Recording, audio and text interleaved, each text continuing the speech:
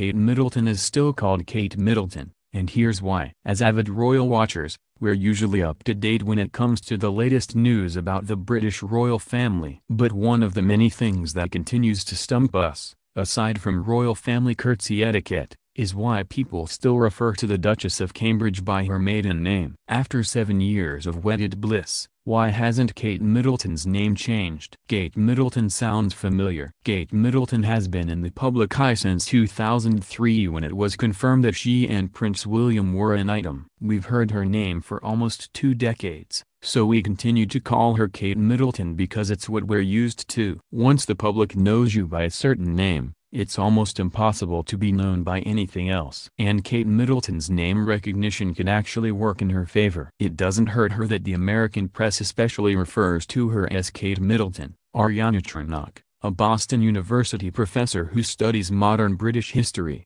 told Vanity Fair it's precisely her middle-class origins, and that name, which won her over to so many people in the first place. So that reminder can only help her. What is Kate Middleton's title? So if we're really not supposed to call her Kate Middleton, what do we call her? What is her official title? This is where things get tricky. When Prince William married Kate, she took the female form of his title, Prince William of Wales, making her Princess William of Wales. At the time, Queen Elizabeth also granted the couple the title of Duke and Duchess of Cambridge. Some sites refer to the Duchess of Cambridge as Princess Kate, but there's one big issue with that, Kate cannot and never will be Princess Kate because she was not born into the royal family. To have the title Prince or Princess before your name, you must be born into the role. That is why it's correct to refer to Prince William's daughter as Princess Charlotte. This same logic is the reason why it's also not correct to call Kate Duchess Kate. So what about Princess Diana? When she married Charles,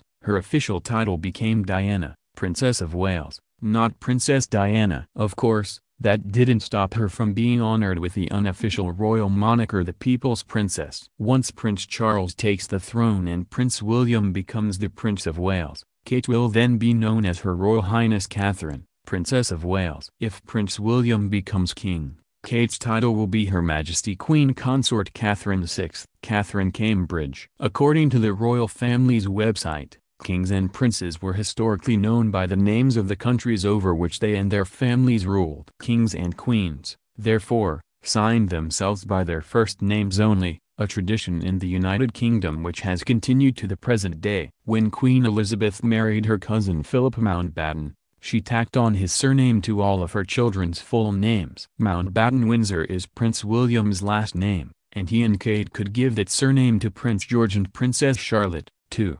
But to make things more confusing, Prince William was given the name Wales, the area of which his father was prince. At birth, at school, he was called William Wales, but now that he has the title Duke of Cambridge, Kate could go by Catherine Cambridge. She could also use Catherine Mountbatten Windsor. Of course, Prince William confused the internet when he signed Prince George's birth certificate. He listed Kate as Catherine Elizabeth, Her Royal Highness the Duchess of Cambridge, putting a slash through the married surname section. Then, he listed her job as Princess of the United Kingdom. With so many options, we'll let you decide what to call her.